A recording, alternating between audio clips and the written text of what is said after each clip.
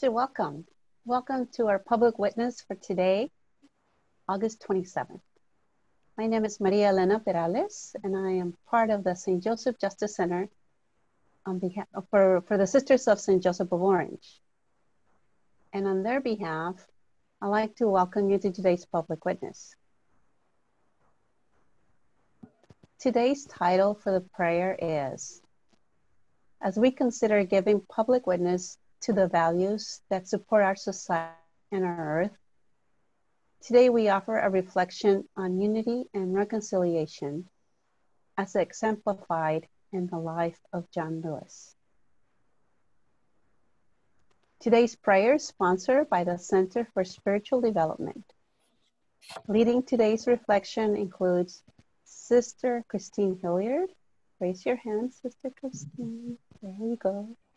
Sister Kit Gray. And, Sister, and Sarah Tarango, a candidate for the Sisters of St. Joseph. Today's program includes song, opening prayer, video, an examen, a responsive prayer, reflective action, and a closing prayer. So we now begin.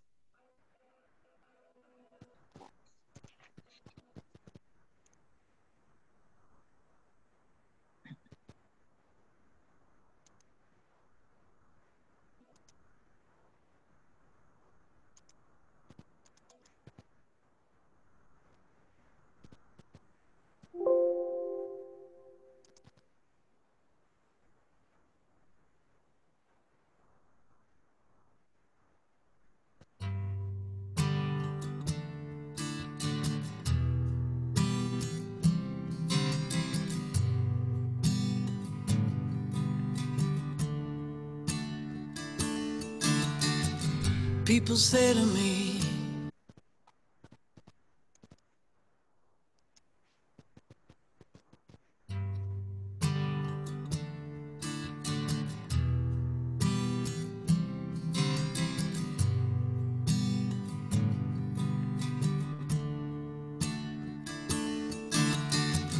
People say to me,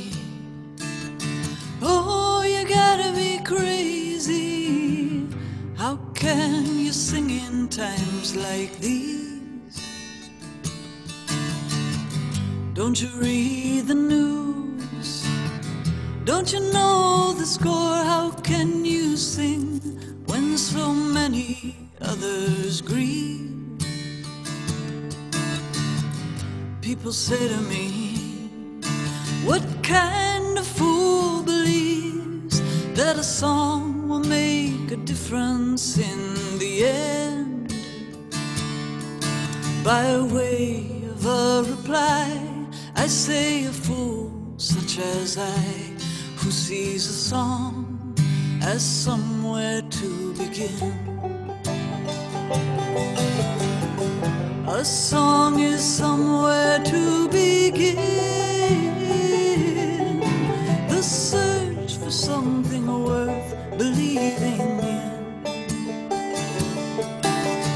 If changes are to come, there are things that must be done.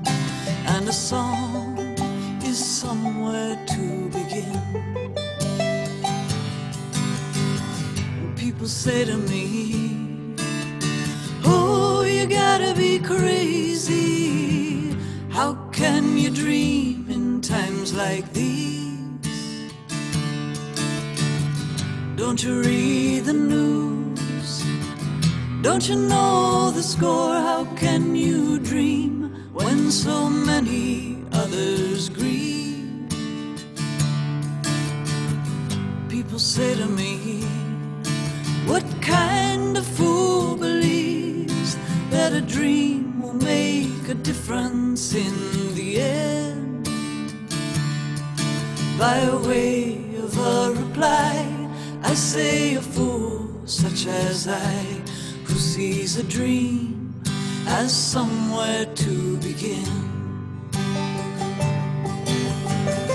A dream is somewhere to begin. The search for something worth believing in. If changes are to come, there are things that must be done. And a dream somewhere to begin. And people say to me, Oh, you gotta be crazy. How can you love in times like these? Don't you read the news? Don't you know the score? How can you love when so many others grieve?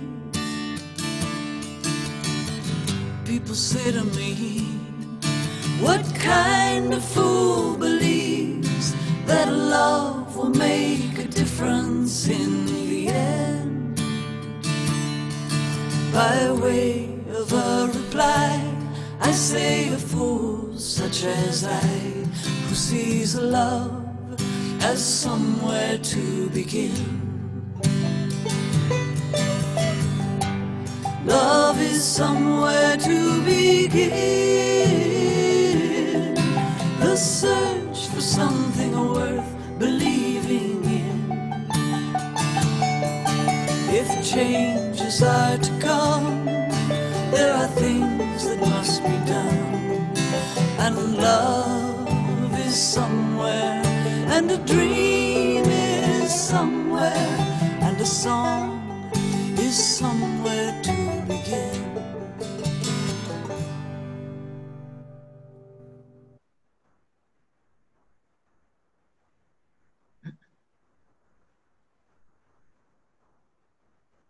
We gather with a hunger for unity and reconciliation. We gather because we are hopeful, because we have visions and dreams of being and living as one. This is not a time of quick solutions, fancy talking. This is a slow process.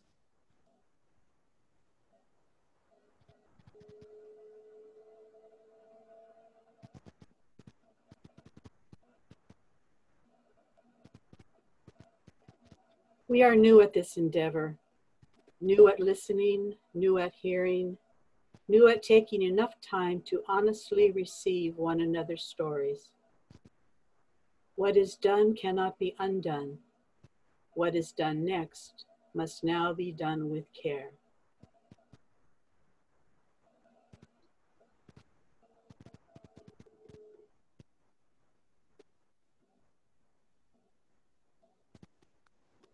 We gather because we are hopeful, because we have visions and dreams of being and living as one. May the strength of this time together help us to walk forward with God's help. May the wisdom of this experience help us to know our path.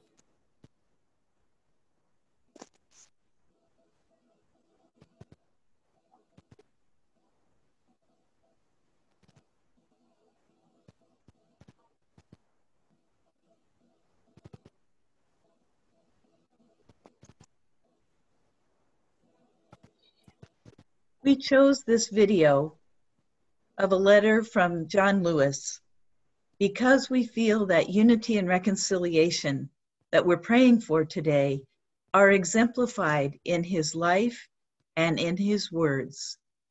So let us hear from him today.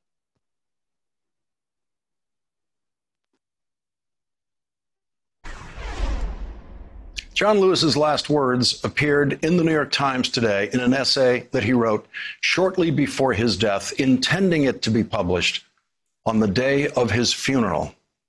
Here is that essay, read for us today by John Lewis's friend and admirer, Morgan Freeman. While my time here has now come to an end, I want you to know that in the last days and hours of my life, you inspired me. You filled me with hope about the next chapter of the great American story. when you used your power to make a difference in our society. Millions of people motivated simply by human compassion laid down the burdens of division. Around the country and the world, you set aside race, class, age, language, and nationality to demand respect for human dignity. That is why I had to visit Black Lives Matter Plaza in Washington, though I was admitted to the hospital the following day. I just had to see and feel it for myself that after many years of silent witness, the truth is still marching on. Emmett Till was my George Floyd. He was my Rayshard Brooks, Sandra Bland, and Breonna Taylor. He was 14 when he was killed, and I was only 15 years old at the time. I will never ever forget the moment when it became so clear that he could easily have been me. In those days, fear constrained us like an imaginary prison, and troubling thoughts of potential brutality committed for no understandable reason were the bars. Though I was surrounded by two loving parents, plenty of brothers, sisters, and cousins, their love could not protect me from the unholy oppression waiting just outside that family circle. Unchecked, unrestrained violence and government sanctioned terror had the power to turn a simple stroll to the store for some Skittles or an innocent morning jog down a lonesome country road into a nightmare. If we are to survive as one unified nation, we must discover what so readily takes root in our hearts that could rob Mother Emanuel Church in South Carolina of her brightest and best shoot unwitting concert goers in Las Vegas, and choke to death the hopes and dreams of a gifted violinist like Elijah McClain. Like so many young people today, I was searching for a way out, or some might say a way in. And then I heard the voice of Dr. Martin Luther King Jr. on an old radio. He was talking about the philosophy and discipline of nonviolence. He said we are all complicit when we tolerate injustice. He said it is not enough to say it will get better by and by. He said each of us has a moral obligation to stand up, speak up, and speak out. When you see something that is not right, you must say something. You must do something. Democracy is not a state. It is an act and each generation must do its part to help build what we call the beloved community, a nation and world society at peace with itself. Ordinary people with extraordinary vision can redeem the soul of America by getting in what I call good trouble, necessary trouble. Voting and participating in the democratic process are key the vote is the most powerful nonviolent change agent you have in a democratic society. You must use it because it is not guaranteed. You can lose it. You must also study and learn the lessons of history because humanity has been involved in this soul wrenching existential struggle for a very long time. People on every continent have stood in your shoes through decades and centuries before you. The truth does not change. And that is why the answers worked out long ago can help you find solutions to the challenges of our time. Continue to build union between movements stretching across the globe because we must put away our willingness to profit from the exploitation of others. Though I may not be here with you, I urge you to answer the highest calling of your heart and stand up for what you truly believe in my life, I have done all I can to demonstrate that the way of peace, the way of love and nonviolence, is the more excellent way. Now it is your turn to let freedom ring. When historians pick up their pens to write the story of the 21st century, let them say that it was your generation who laid down the heavy burdens of hate at last and that peace finally triumphed over violence, aggression, and war. So I say to you, walk with the wind, brothers and sisters, and let the spirit of peace and the power of everlasting love be your guide. John Lewis gets tonight's last word through the voice of his friend, Morgan Freeman.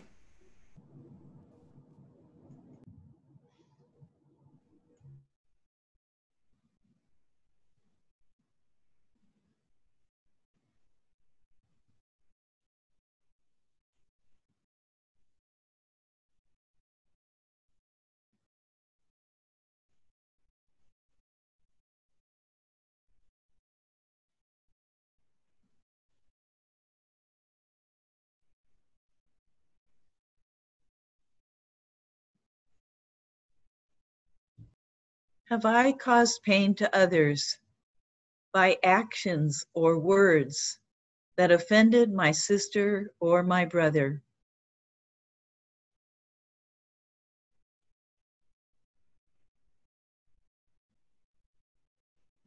Have I done enough to inform myself about the sin of racism, its roots, and its historical and contemporary manifestations.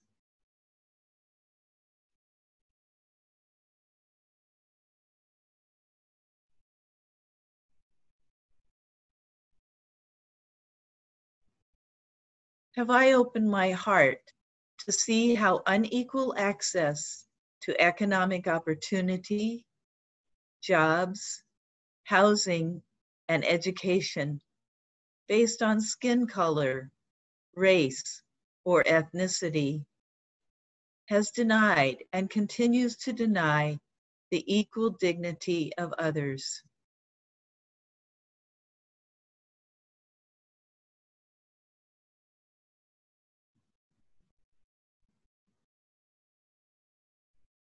Is there a root of racism within me that blurs my vision of who my neighbor is?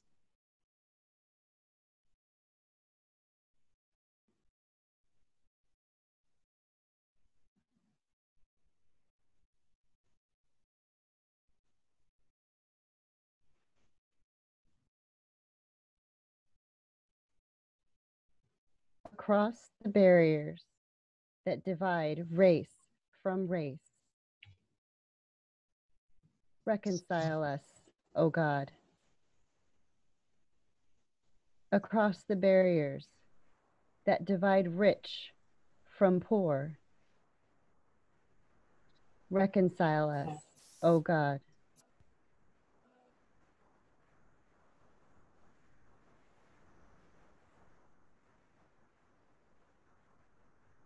Across the barriers that divide people of different cultures. Reconcile us, O God. Across the barriers that divide believers of all faith traditions. Reconcile us, O God. Across the barriers that divide women and men, young and old. Reconcile us, O God. God.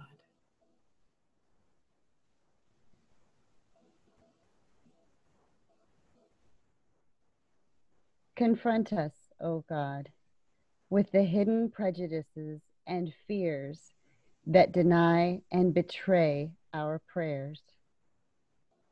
Enable us to see the causes of strife and division, and remove from us all sense of superiority. Teach us to grow in unity with all God's people and with all creation. Amen.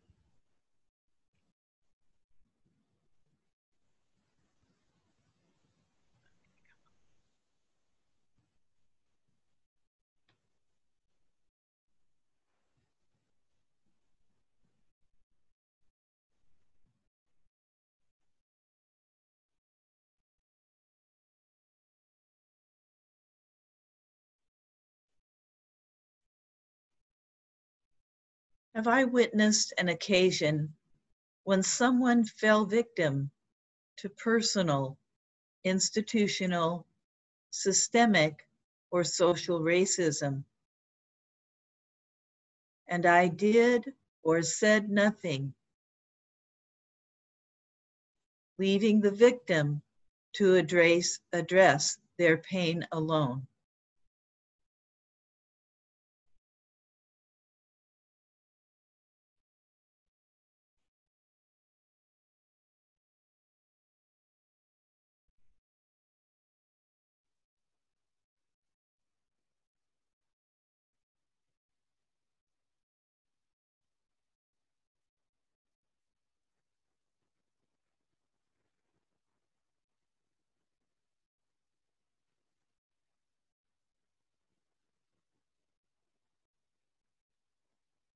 Have I witnessed an occasion when someone fell victim to personal, institutional, systemic, or social racism, and I did or said nothing, leaving the victim to address their pain alone.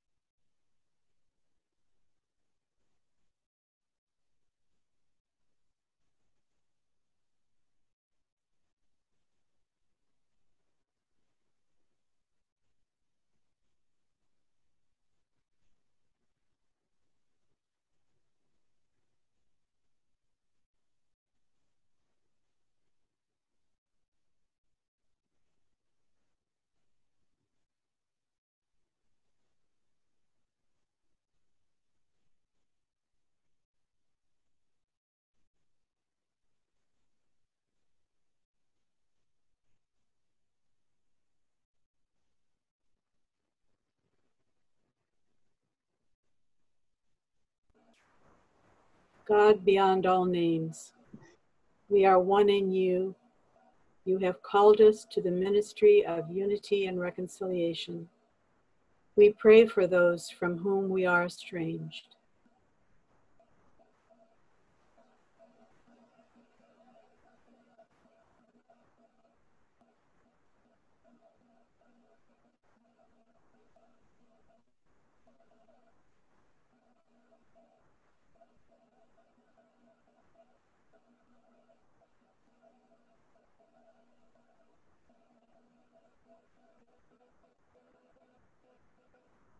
Bring healing to strained or broken relationships. Forgive us for the times we have wronged others, whether by ignorance, neglect, or intention.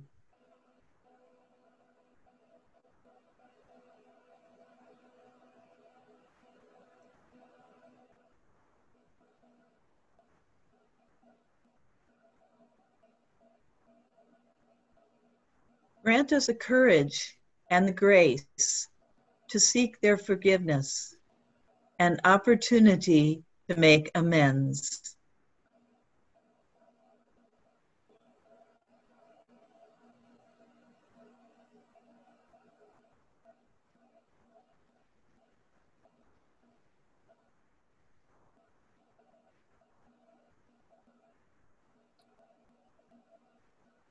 Where others have wronged us. Grant us a gracious spirit that we may forgive even as we have been forgiven. Amen.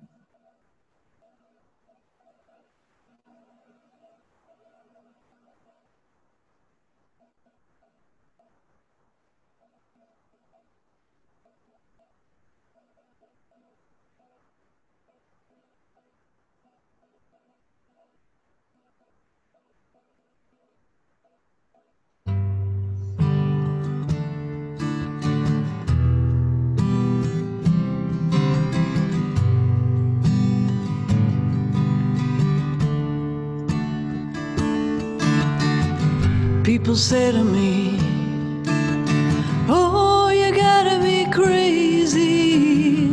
How can you sing in times like these? Don't you read the news? Don't you know the score? How can you sing when so many others grieve? People say to me, what kind of fool believes that a song will make a difference in the end?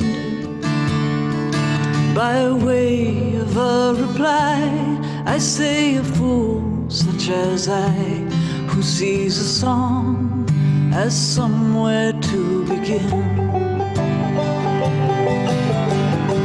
A song is somewhere to begin. Something worth believing in. If changes are to come, there are things that must be done, and a song is somewhere to begin. People say to me, Oh, you gotta be crazy. How can you dream times like these? Don't you read the news? Don't you know the score? How can you dream when so many others grieve? People say to me, What kind of fool believes that a dream will make a difference in By way of a reply, I say a fool such as I, who sees a dream as somewhere to begin. A dream is somewhere to begin.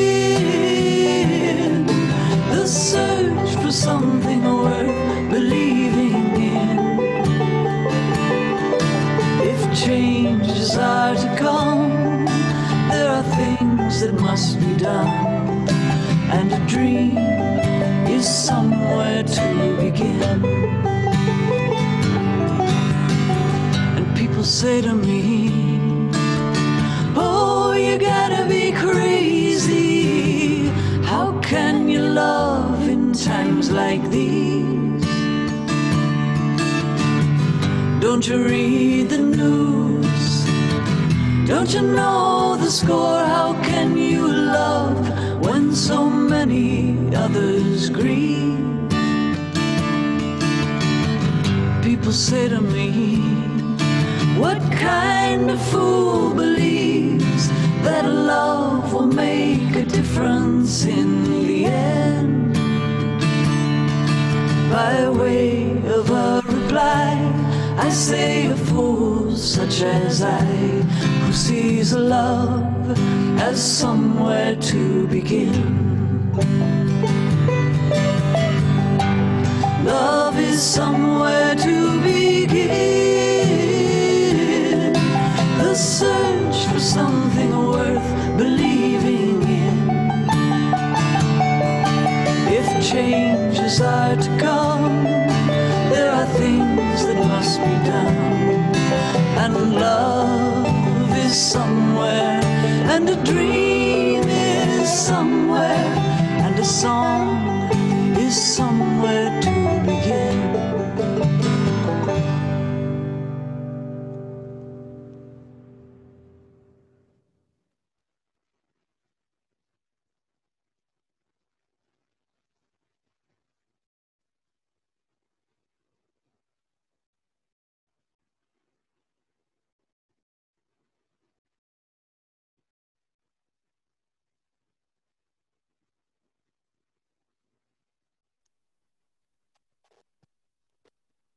Thank you so much for participating in today's prayer. I want to thank the Center for Spiritual Development for being the sponsor for today. It was a beautiful and prayerful opportunity for all us to be together. Thank you, Sister Kit, Sister Christine, and Sarah, and Yesenia for the technical assistance. And we'll see you next week. Thank you all and have a great day.